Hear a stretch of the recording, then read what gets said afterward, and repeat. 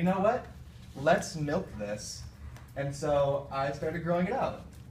And as it grew out, it sort of exacerbated the benefits I talked about before. People would mention how much they liked it, how nice it was, how the light curl it had, which is always pretty nice. And eventually, I just started, I grew to enjoy my hair long and styling it and the way it was, simply for what it was, rather than necessarily because I was receiving compliments on it.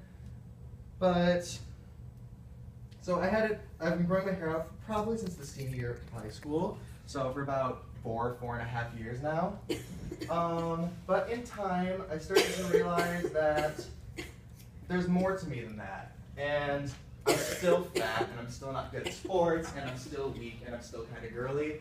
But I don't mind that about myself anymore. So now I feel that I've come to a head in my life where I don't need this anymore.